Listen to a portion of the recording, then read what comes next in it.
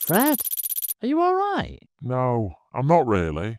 I keep reading about all these cyber attacks, and it's really worrying me. I lay awake in bed at night thinking about it.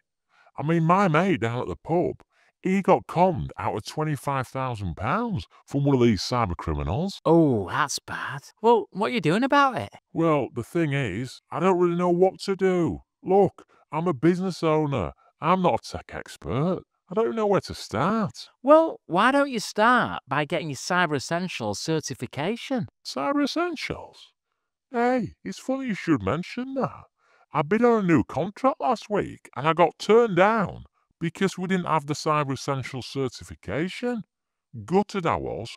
That contract, it could have changed our business. Look, Fred, my advice is to get certified.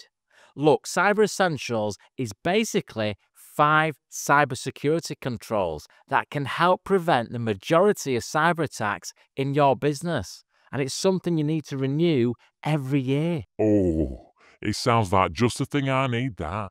But how do I get started with it? I just need more information so I can get going. I tell you what, the first step is actually the easiest. Just hop on to the National Cybersecurity Centre's website. It's got loads of support and advice, and it'll take you to a tool that can help you produce a tailored action plan to get your business ready for certification. Oh, fantastic. Absolutely fantastic.